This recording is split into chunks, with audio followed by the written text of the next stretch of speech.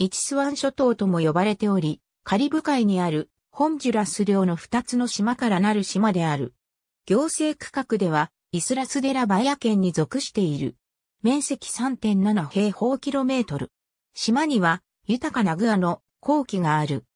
コロンブスにより1509年に発見され西安ナの名にちなんでイスラサンターナ島と命名するが、淡水がなかったため、島をすぐ去り、島の存在は忘れ去られた。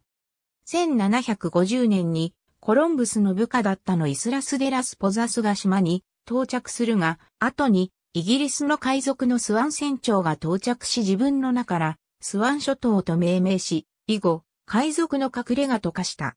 1840年にケイマン諸島から二人のイギリス人が島に初入植を試みた。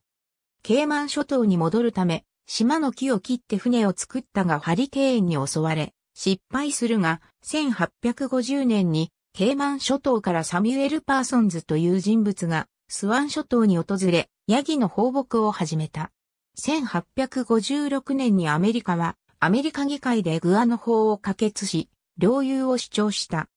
翌年にアメリカ人、ジョン・バレンティン・ホワイトが島を発見したと、アメリカ政府に宣言したためホワイトの死所有地ということでのアメリカの領土となった。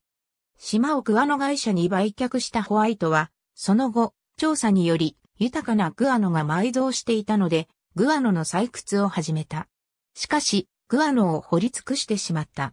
その後、転売していき、無線中継地となったり、ココナッツ栽培などされたが、アメリカが速攻所を建設。1920年に、ホンジュラスがスワン諸島の領有を主張したが、アメリカはそれを拒否し続けた。1960年に、イギリスのジブラルタル汽船会社に買収され、スワンラジオという放送局を建設した。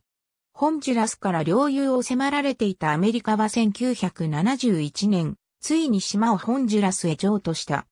現在も無線中継地として無線中継所があり、その関係者のスタッフが数人いるほか、ココナッツ栽培をする住民一人と、ホンジュラス軍の守備隊が駐留している。1989年に自然保護区に指定されたが、アメリカの資本会社が観光地や租税回避地などにしようと島を所有しようとしている。ありがとうございます。